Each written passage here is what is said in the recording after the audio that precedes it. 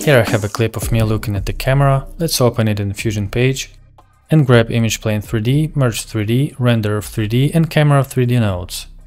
Reconnect media in one node to the green input of Image Plane 3D and rest of the nodes as usual. Connect Camera 3D to Merge 3D node. Go to Inspector window and drag Z value till you see the full image. Cool, select media in one node, shift space and type in duplicate. We are gonna use this duplicate node with a rectangular mask to create our main effect. Connect rectangular mask to duplicate node, select duplicate and enable multiply by mask checkbox. Now you can see that our image is masked with our rectangular mask. But we are still missing our main clip. So let's drag another image plane 3D node and connect media in one node to this new image plane node green input and image plane to merge node. Now if you select image plane 3D to which is connected our duplicate and change the value in the transform window, you can see we have both duplicated and original image. Now you can adjust rectangular shape to your liking and place it closer to your subject. If you select duplicate node, you are able to change position and size inside the mask. Okay, let's quickly animate the value of image plane 3D node so it zooms out.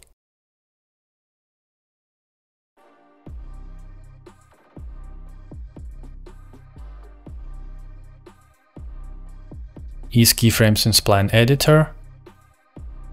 Let's also animate camera movement. Select camera 3D node, step on 85th frame, set keyframe on Z value, go to the first frame and change Z value to your liking. So it has a nice zoom animation.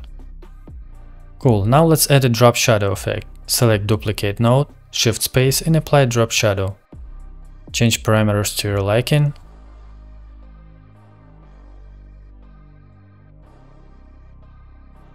When the duplicated image is at the end of its movement, animate drop shadow distance and strength so it nicely disappearing. Set keyframe to drop shadow distance and strength. Go back to around 5 frames, set it again. Go back to 40th frame and set them to 0. Ease drop shadow keyframes. Now let's add a little bit of distortion to our clone. Select drop shadow node and apply lens distortion effect.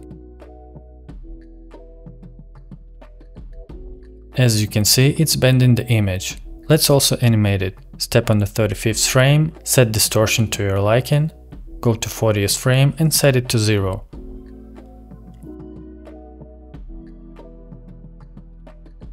I'm gonna reset it to 1 and ease keyframes.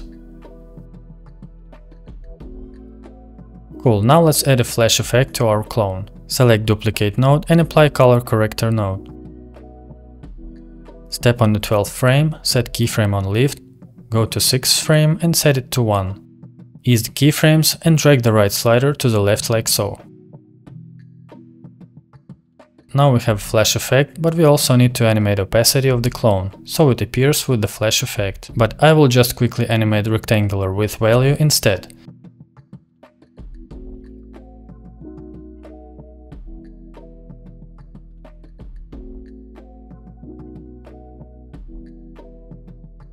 Perfect. Once you are done with the one clone, you can duplicate all of the 6 nodes and connect it to our node tree with media in one node and merge 3D node.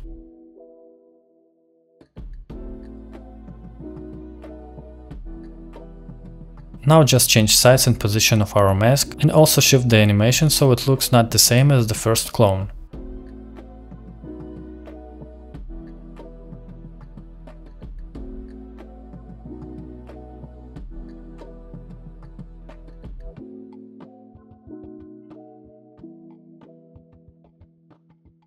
Select the nodes you need by holding the command or control and enable show only selected tool in the keyframe editor.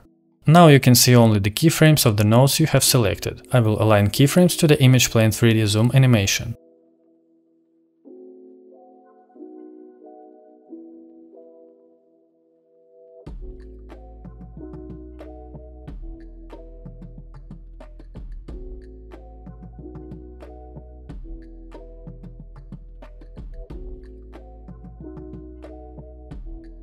When you are done with duplicating all the clones, you will have something like this. Great, now let's add some effects to our scene, and we are gonna apply them all after renderer 3D node. I will add a film grain first, adjust parameters to your liking,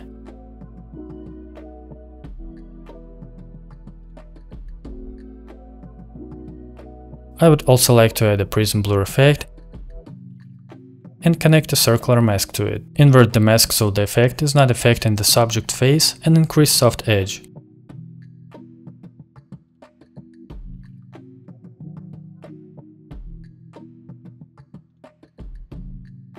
Cool, and the last effect is lens distortion. You can apply lens distort if you have a free version of DaVinci Resolve. I will animate distortion from minus 0.4 to 0.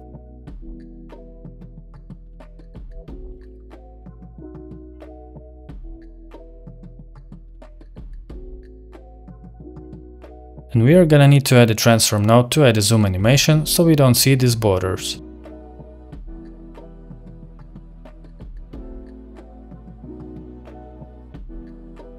Select lens distortion node and change edge behavior to replicate or reflect.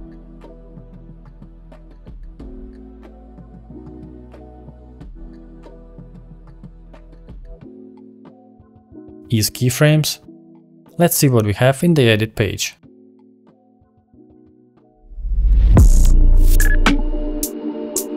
And that's it. Don't forget to like, subscribe and leave a comment in the comment section. And you can also visit my store to get some nice drag and drop presets for DaVinci Resolve. Thanks a lot for watching and see you in the next video.